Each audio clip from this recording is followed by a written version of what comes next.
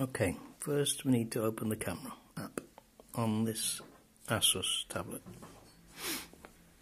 Okay, then put it in good light, quite simply put the page there and take a picture. Okay, now the picture's taken. We go to the gallery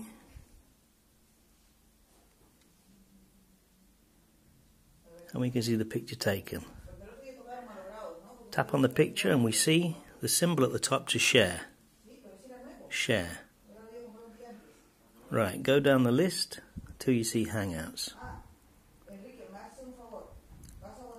Then we see a list of contacts. This is Carmen's tablet, so you're not on there. but I'll put it, I'll send it to me. So select the contact.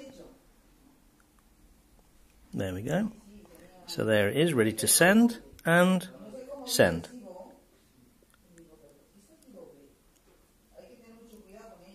Right, now my phone should receive that. But obviously, there you go, that's my phone receiving that picture.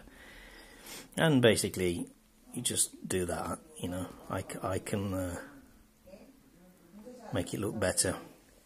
But what I do need is my certificate of my graduation. So there you would just start the camera